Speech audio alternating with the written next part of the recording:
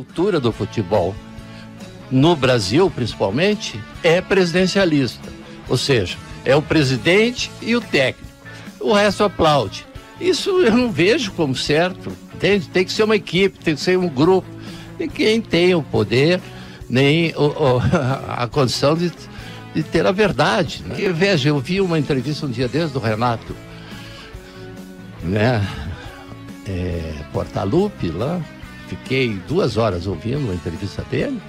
Ele di disse, né, com todas as letras, que ele era, tinha a chave do CT. Se o presidente quisesse entrar, teria que pedir para ele. Como é que você entrega um projeto que nem um Grêmio na mão de uma pessoa que nunca estudou uma orelha de livro? Com todo respeito,